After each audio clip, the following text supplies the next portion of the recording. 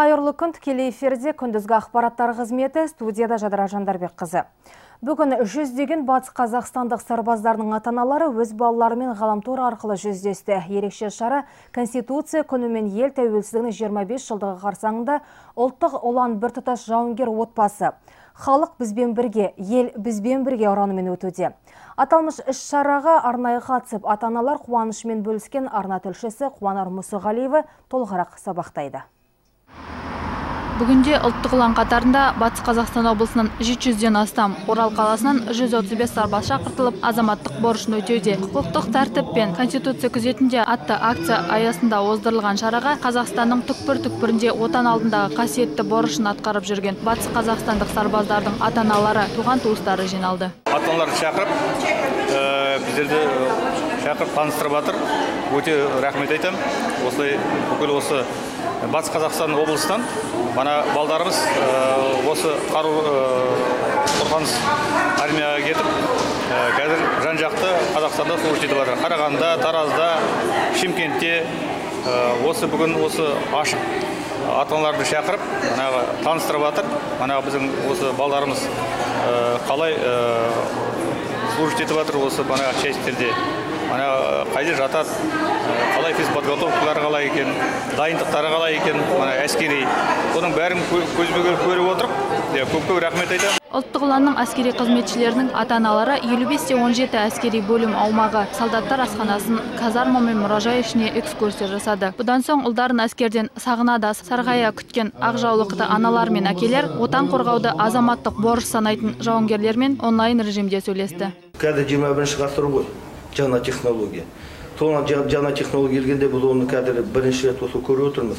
Әдейілеп осы оны біздің сарбаздар басқа ұлттық ұлан әскери бөлімде күллі қазақстанда өз міндетін сарбаздар атқарып жатыр ғой. Енді қазір біз бүгін әке аналарын шақырып олар соны видеосвязь видеоконференция солымен олар бірге сөйлеседі. И балалар уже балалар өзі біз отырғанда өз жағдайын айтады қалай екен оны? Тамақ жағы қалай тәртібі қалай сол күресін біз мәселе мен айтқандай ашықпыз. Сол әке аналары көрсін. Жаңа форматтағы шара республикамыздағы күш құрылымдарының арасында тұңғыш рет ұйымдастырылды. Әскери қызметкерлер ерекше кездесуді әлі де жалғастырмақ ниетте. Қуанар мұсағалиева ербол аманшин александр горобров тдк телеарнасы. Еліміздің ең көне қалаларының бірі облыс орталығы Орал қаласының сырт келбеті өзгергелі тұр. Шаһарымыздың сәнін келтіріп тұрған жаңа ғимараттар салынып жатса да, негізгі мақтанышымыз болып 18-19 ғасырда салынған тарихи архитектура ескерткіштері болып қала бермек. Сол көне ғимараттардың фасадтарын қалпына келтіру туралы аймағымыздың басшысы тапсырма берген еді. Тапсырманың орындалу деңгейі қалай? Қала күнін шаһарымыз жаңа келбетпен қарсы алады ма? Тілшіміз біліп қайтты.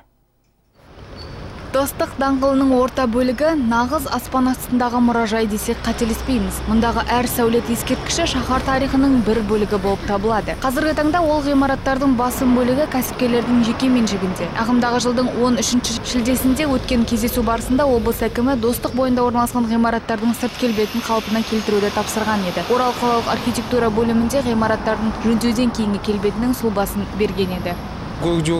Больше 120 Қаламызда 120 тарихи ескерткіштер болса, даңғылдың өзінде 40 нысан бар. Ағымдағы жылда колористикалық шешім қабылданған болатын. Ол дегеніміз тарихи нысандарымыз бір стильде, сырт келбеті бірдей немесе ұқсас түстерге боялуы керек. Кейбір нысандар жөндеу сырлау жұмыстарын бастап кетті. Мысалға, Хамза Есенжанов атындағы облыстық кітапхана мәдениет басқармасының ғимараты.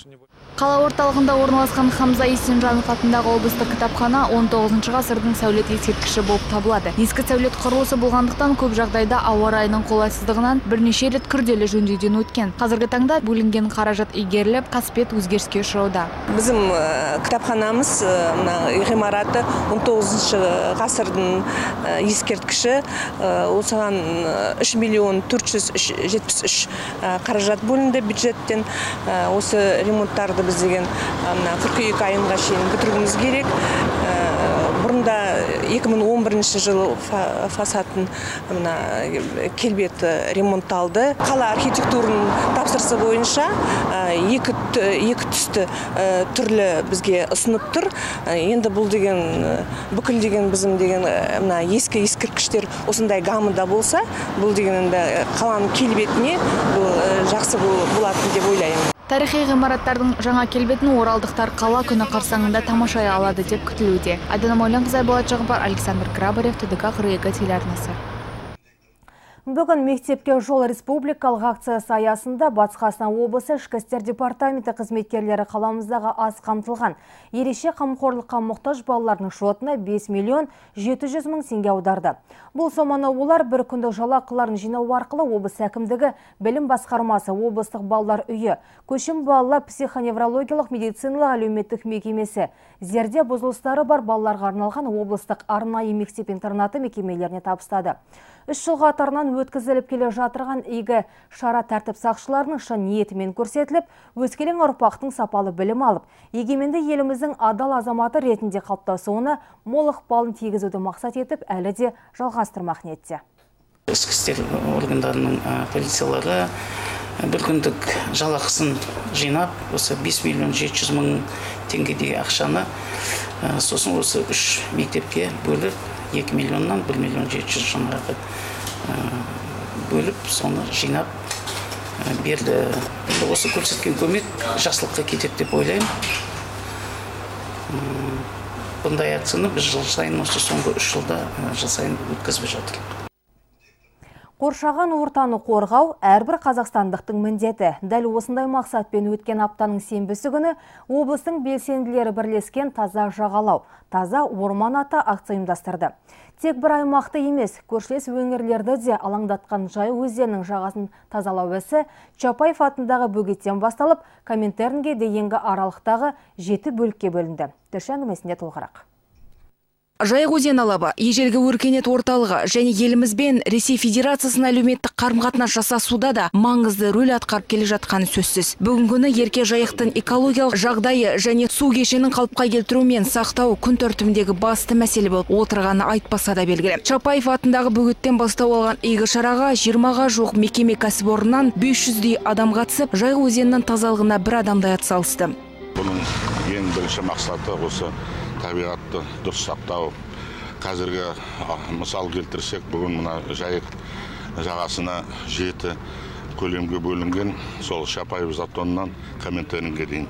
Сол жерде біздің жаңа әріптестер осы ұжымдар жастармен бірігіп болашақтың таза жағалау деген акцияға кірісіп жатырмыз бұл акция манада басында айтып кеттім бұл түгел облыс бойынша өтіп жатқан акция Акция барысында саймандарын сайлап келген Жайық өзені бойында орналасқан елді мекендердің тұрғындары орман және жануарлар дүниесін қорғау жөніндегі мемлекеттік қызметкерлердің түрлі кәсіпорындардың қызметкерлері өзеннің жағалауын құлаған ағаштар мен тұрмыстық қалдықтардан аршып қасқағым сәтте қапшықтарын қоқысқа толтырып жатты. Жылдағы акция аясында белсенділер 600 тонна тұрмыстық қалдықты тысқа шығаруды әдетке айналдырыпты акцияның маңыздылығы біздің таза қаламыздың одан әрі көркейтуге одан әрі оның тазалығын сақтауға үлкен көмегін тигізеді. Сонымен қатар әр жан жақтан жиналған жастардың сонымен қатар әр мекемелерден келген адамдармен басқа да адамдармен тығыз қарым қатынас жасауға достыққа жастарды бірлікке еңбекке баулуға өте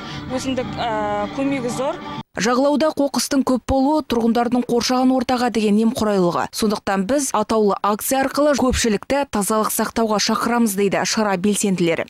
Баршаңыздар білесіздер, биылғы жыл біздің еліміз үшін ерекше жыл. Тәуелсіздігіміздің 25 жылдық мерейтойын тойлағалы отырмыз.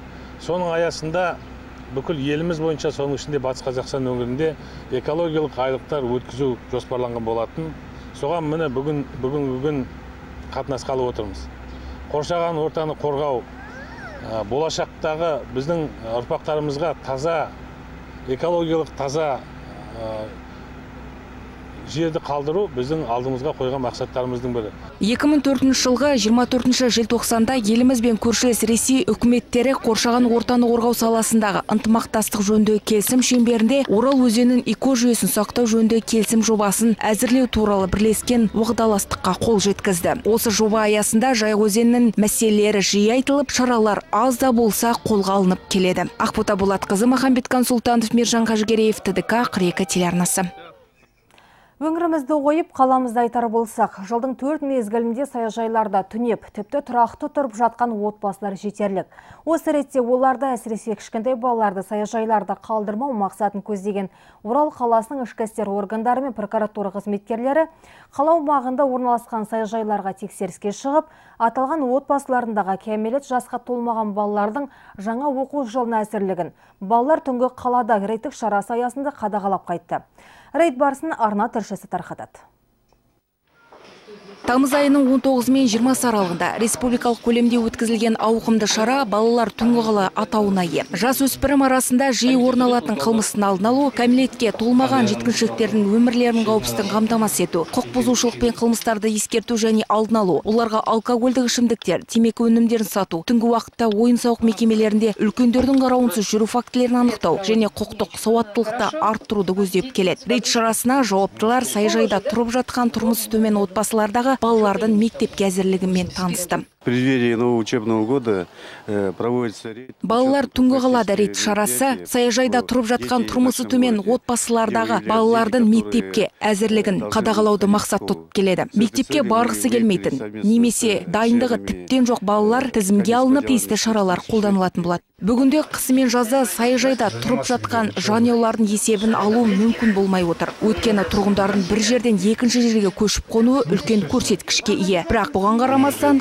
қадағалаушы органдар күн түн демей рейдтік шараларға шығып, отбасыларға жолығып, барынша көмектерін ұсынып келетіндерін айтады. Қалалық ішкі істер бөлімінде ә, сәтсіз отбасында тұрған ә, отбасыларды тексеріп, оларға ә, құқықтарын түсіндіріп, ә, балдардың құқығын қорғау мақсатында түсініктеме жұмыстарын жүргізіп осындай көріп отқандай саяжайларды тексеріп ата аналарына түсініктеме жұмыстарын жүргізіп жатырмыз рейд барысында төрт мезгіл бойына саяжайда аялдап тұрып жатқан отбасылар барына көзіміз жетті. Бірақ қылышын сүйреп қыс келгенде олардың жағдайларын елестету тіптен қиын. Осы ретте сала мамандары кішкентай балаларды саяжайда қалдырмаудың қамын ойлап рейдтік шараларға жиі шықпақ ниетте. Ақбота болатқызы дәурен сүйінбеев александр грабарев тдк қырық екі телеарнасы. Балалар мен жас өспірімдердің без мезгіл уақытты көшеде жүруі, олардың тәртібіне кері әсерін тигізері сөзсіз. Түрлі заң бұзушылықтардың басым бөлігі түнгі мезгілде болатыны жасырын емес. Осы сынды жағдайлардың алдын алып, панасыз және бақылаусыз жүрген жат әрекет жасауға бейім кәмелетке толмағандарды уақыттылы анықтау. Жас өспірімдердің түнгі уақытта көшеде және көңіл көтеру орындарында заңды өкілдерсіз жүруіне жол бермеу мақсатында Батыс Қазақстанда тәртіп сақшылары түнгі рейд өткізді. Түнгі қаладағы балалар жедел алдын алу іс-шарасы барысында арнайы жасақталған мобильді топтар кешкі және түнгі уақытта жас өспірімдер жүретін орындарды. Яғни ірі сауда, ойын сауық орталықтарын, компьютер клубтары мен интернет кафелерді, мейрамханаларды, барлар мен түрлі жеке меншікті мекемелерді тексеріп шықты. Шара барысында Ж есімді жасөспірім Маметова Достық көшесінде орналасқан кафе-бар ойын сауық орталығында ұсталып, кәмелетке толмағандарды бейімдеу орталығына жеткізілді. Алдағы уақытта бұл жасөспірімнің ата-анасына әкімшілік шара қолданатын болады. Жеті жеңілістен кейінгі қатарынан екі жеңіс. Ақжақ футбол клубы премьер-лигада командалар арасындағы Қазақстан чемпионатының кезекті ойынында өнер көрсетті. Қарағандыда өткен шахтерге қарсы ойында командамыз жан қиярлықпен ойнады. Парагвайлық легионер Фредди Коронелдің пенальтиде соққан соққысы шешуші болды. Мирослав Личичке қарсы ойын тәртібін бұзған соң айып доп берілді. Ақжайық 1-0 есеппен жеңіске қол жеткізсе де, турнелік кестедегі орнын өзгерте алмады. Бірақ алда келе жатқан тараздан ара қашықтық азайтты. Әзірге айтарымыз осы, амандықпен көріскенше.